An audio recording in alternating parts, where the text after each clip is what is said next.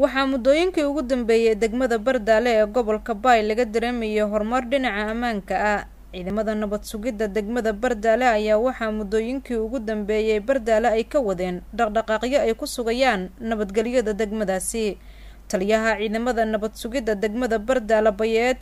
oo la hadlay TV-ga KGS TV ayaa uga warbixiyay guud ahaan xaaladda ammaan ee degmada Bardaale waxaana ka mid ahaa hadaladiisii. Kumbadije kontaroolladii iyo walaaji iyo howlgalshii gaabshay kolley siisii mandareenten sii margaasen mal eelbooradii iyo meeloji heegan laka jar labaatiya farsa. Saas dartee meydharay baloomika hato oo kor e oo odow e kala ma jira dhatiya ee boorbale ma jiran si batan intii hadlii fadniya yaka yaka in badan tan isin bani deerten ahayti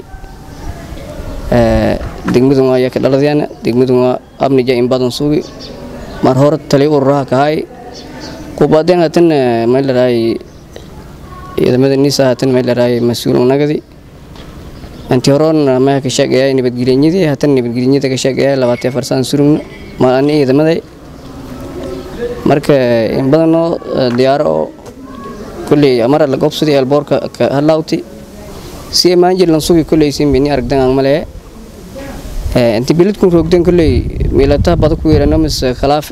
lo isqoorqoo nin jarni siinba dareensan siinba argaaytan iyo sadee deganta haa jaran jaran in badan kolley siinba dareensan inni wal badan hagobadin ilaa hata al-shabaab niman oo was dhiibeen hata inni degmada ka suganyin in badan kale qohoroona mad has dhiibeen jaran inta lagu qaadi oo gobolka la jeeyay howlgaloo hamiin ilaa roonto hamiin igee oo ifirdhe inuna ka jarna. Heegankan iyo nagaabkan ku dareemasan marka in badan dad degmadan dhaladyan ini maylaray horumarka deerta odowg laku dhihi maylaray abnija eedlan sugo mal musaafur shay muqiim shay dhatiyo marba boorbaleen ku dhin iyo labaatiya farsaan degmada bardaale ee gobolka baay ayaa waxaa magaalada baydhabo ee xarunta gobolka baay waxay u jirtaa lixdan kilomitir waxayna ka mid tahay deegaanada dowladda koonfur galbeed ugu ammaanka badan waana magaalada magaalada baydhabo ee xarunta gobolka baay soo labayso oo shacabka iyo mas'uuliyiinta ay isdhex maraan. Saabriin maxamed aadan